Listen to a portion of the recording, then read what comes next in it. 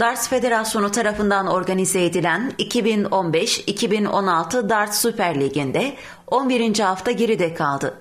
Lider Deniz Plaza'nın Magem deplasmanından 12-4'lük skorla döndüğü 11. haftada Minareli Köy kendi evinde Vadili Darts Derneği'ni 13-3 skorla uğurlayarak haftanın en farklı galibiyetini aldı. Alt sıraların önemli maçı Akder deplasmanında dağ yolunu 9-7 mağlup etmeyi başararak küme düşmeme adına önemli bir galibiyet elde etti.